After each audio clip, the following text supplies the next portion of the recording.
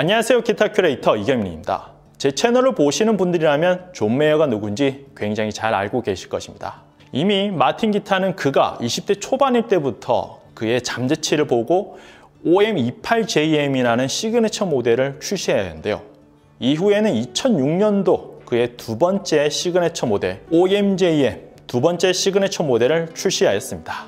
이 OMJM은 지금까지도 생산되면서 스탠다드 시리즈만큼이나 그 가치와 사운드에 대한 안정성을 잘 보여주고 있는 모델인데요. 그렇기 때문에 많은 분들이 이런 오랜 시간 동안 OMJM에 대한 사운드를 연주해보고 들어보시면서 이 기타를 custom화한 자신만의 사운드 혹은 이 기타를 더욱더 범용적으로 보여줄 수 있는 스펙을 가진 custom 모델을 제작하려고 하는데요. 이번 영상에서는 이런 OMJM을 보다 더 범용적으로 많은 분들이 원하시는 그런 사운드를 가지고 있는 기타를 제작한 custom 모델을 소개시켜 드리려고 합니다. 이번 영상에서 선보인 기타는 OM18 custom OMJM 버전의 모델입니다. 본 기타는 존 메이어 가지고 있는 그 장점들을 그대로 간직하고자 노력하였는데요. 상판에 적용되어 있는 Engelmann spruce는 그대로 적용시키면서 존 메이어의 배음과 그리고 픽업에서의 표현력 이러한 것들을 그대로 유지하였으며